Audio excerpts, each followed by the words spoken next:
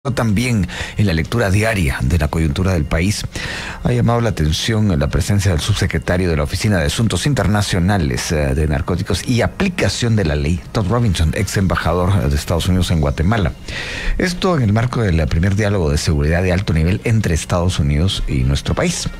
Embajador, gracias por continuar en línea. Mm, estábamos hablando de muchas cosas y yo aquí hice algunos apuntes. Usted hablaba de lo prioritario que es uh, Guatemala como país eh, para Estados Unidos por el momento que se vive. Mm, decía también que la batalla eh, por unas mejores cortes, digamos así, es una batalla que Estados Unidos no podía perder, digamos, tampoco Guatemala, si somos claros en el tema. Pero eh, me parece interesante regresar con algo que también usted mencionó. resulta que el rol de la Corte de Constitucionalidad, a muchos les ha llamado la atención eso pareciera que la Corte, eh, con sus uh, resoluciones, está llevando a que el 13 de octubre realmente haya cambio, tanto en la Suprema como en salas de apelaciones. ¿Cómo lo ve usted desde la perspectiva de lo que estamos hablando, de la influencia de Estados Unidos? Pues mire, la, la, la, ausencia de una bancada oficial, una institucionalidad, si el diputado Samuel Pérez hubiera quedado de presidente del Congreso, ha habido, como le decía, un deterioro, no solo es en la coyuntura del día de estos días, sino todo el proceso de debilitamiento del Congreso. Un, presidente del, Congreso que representa un partido muy pequeño. Entonces, y así todas las representaciones, no ha habido una unidad, salvo lo del presupuesto, eh, que se aprobó así con mucho entusiasmo. Eh, son, son alianzas muy, muy coyunturales y de intereses pero aquí entra algo que se dijo en la entrevista anterior, el tema ideológico. Eso es una parte subyacente en una confrontación que tenemos de varios años atrás, una desconfianza, no hay acuerdos entre unos y otros. Y es producto de la guerra interna, Luis Felipe. Eh, y, la CICIG tuvo, digamos, sus luces, pero también sus sombras, porque hubo situaciones donde volvieron a traer eh, secuelas de la guerra que deberían de haber superado. Entonces, en los Estados Unidos también prevalece el tema ideológico. Solo por poner el ejemplo de los Estados Unidos, el presidente Trump nombra magistrados de la Suprema Corte de ideología de derecha, pues conservadores, y tienen la mayoría y la administración Biden eh, no está de acuerdo, inclusive en una ocasión manifestaron el interés de modificar la, ley de que de, nombramientos de la Corte Suprema de Justicia. Eso se da en los Estados Unidos, también se da aquí. Pero hay componentes que subyacen de la historia de nuestro país que nos limitan a ponernos de acuerdo en grandes acuerdos nacionales. Entonces, esto que está pasando en el Congreso, y lo saca a relucir un diputado, que es el tema ideológico. ¿Cómo se va a resolver eso? La Corte de Constitucionalidad efectivamente ya marcó una fecha y hay presión. Y la presión es para todos, no solo es para un sector o para otro. Da la impresión que nadie está totalmente satisfecho con los candidatos de las Cortes. Pero ahí sí, los Estados Unidos han seguido de cerca, saben muy bien quién es cada quien, cómo votan, a qué responden, eh, tienen todo un trabajo de inteligencia, obviamente, de todos los diputados y el Congreso, porque esto es crítico para una política de cooperación en materia de justicia y en materia de seguridad. Entonces, ¿qué puede ser? ¿Qué, qué, qué, sucedió el 14 de enero? Pues hubo un apoyo internacional en la toma de posesión. Y vuelve, es la impresión personal, que en estos días críticos, en la batalla por el, por el sistema de justicia, también hay presencia de los Estados Unidos. Yo, yo no descarto, pues esto es un asunto no solo de ellos, pues obviamente nosotros como guatemaltecos, como ciudadanos que queremos una justicia imparcial, objetiva, eh, fuera de, de, de, las mafias que han cooptado el sistema, heredadas también del régimen anterior, por supuesto que nosotros tenemos mucho interés, pero hay una sensación de que esto se tiene que resolver por los Estados Unidos. Todo, todo indica, bueno, ¿qué va a hacer Estados Unidos? volvemos al mismo tema de otras entrevistas, Luis Felipe, es que todos recurren a Washington para solucionar una agenda interna y eso no es bueno para la democracia. Eso que usted acaba de decir me da pie para la siguiente pregunta, embajador Andrade Falla. Se ha hablado durante muchas, eh, bueno, muchos, muchos meses, sobre todo el año pasado se mencionó esto. De hecho, con usted lo platicamos al aire un par de veces, pero hay la, existe la impresión, no sé si usted está de acuerdo conmigo, de que el músculo de Estados Unidos como que ha recobrado fuerza. ¿Usted qué piensa de eso?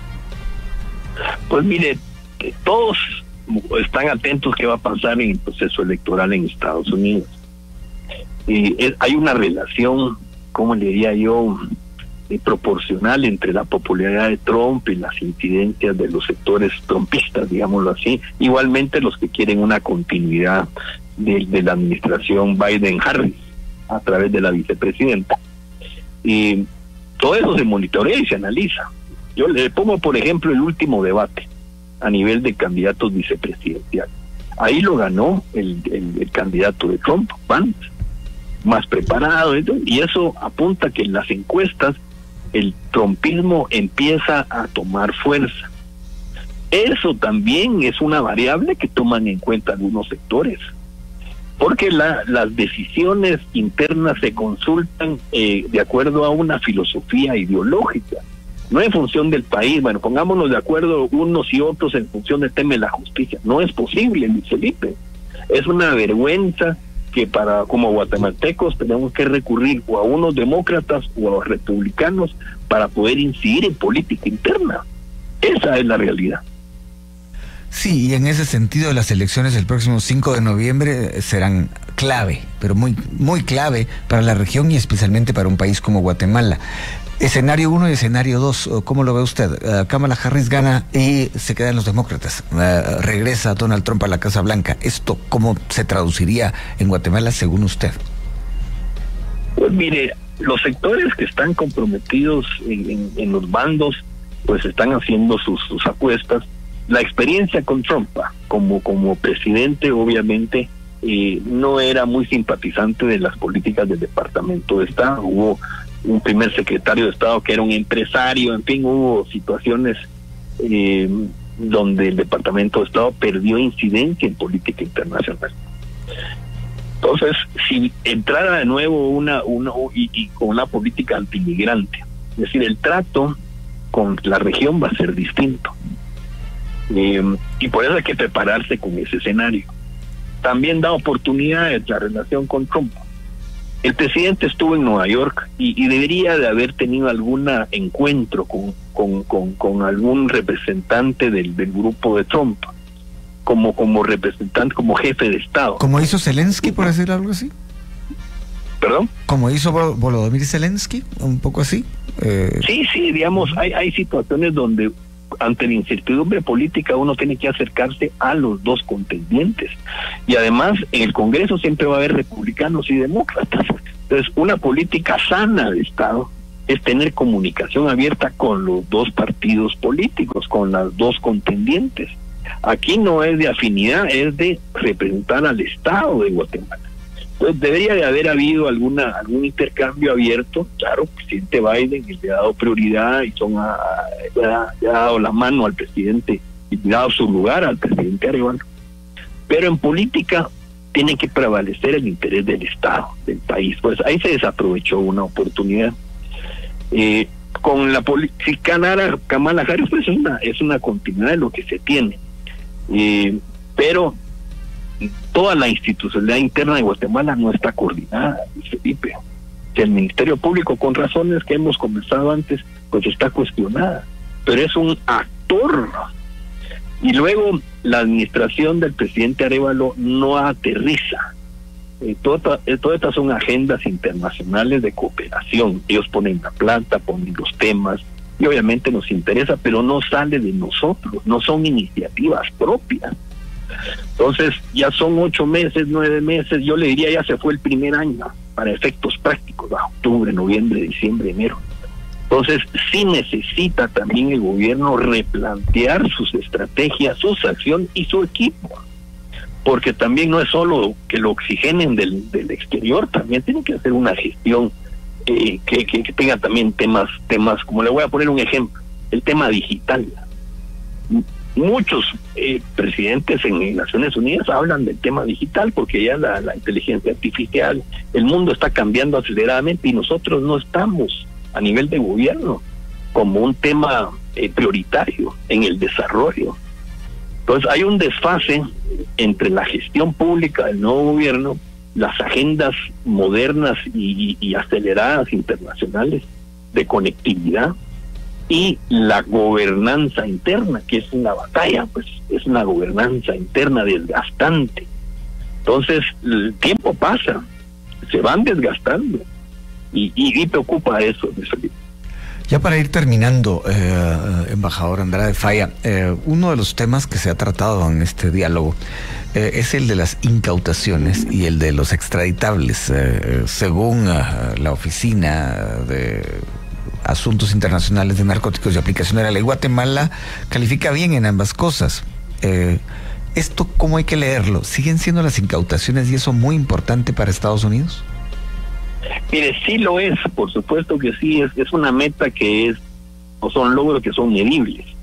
Pero para el tema del lavado de dinero, para las extorsiones, para...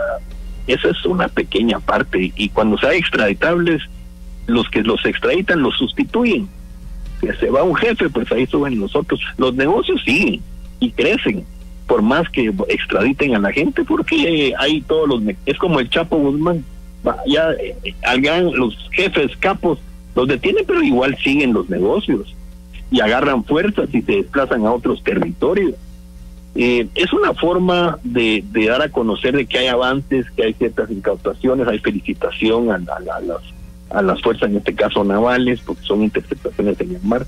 Pero en términos generales, la lucha no es fácil. Aquí esto es para largo, Luis Felipe. Hay más incautaciones, eh, pero también, eh, esto sería para otro programa, y veo que ya no tenemos tanto tiempo, embajador, también se puede percibir que hay más presencia del narcotráfico incluso en puestos públicos. Eso me imagino que también tiene que ser parte de, la temática que traten. Mire, el narcotráfico es creciente. Es decir, eh, y, como le hemos hablado, Honduras es un país vecino, donde ha pasado hasta un presidente, está extraditado y ahí sigue el problema. México, México ya tiene problema en Chiapas, ya no es un problema del norte y de Guerrero, el estado de Guerrero, no, están en Chiapas, es, un, es un área fronteriza. Y nosotros ya tenemos eh, movilidad abierta de, de narcotraficantes el ejército, la institucionalidad, a veces no tienen la capacidad para hacerle frente a esto, Felipe. Hay mucha gente que vive del narcotráfico, que está relacionada a través de negocios que aparentemente legales. Hay comunidades que dependen de esta gente, los compran, les dan. Hay, gente que es generosa con esto para que los protejan.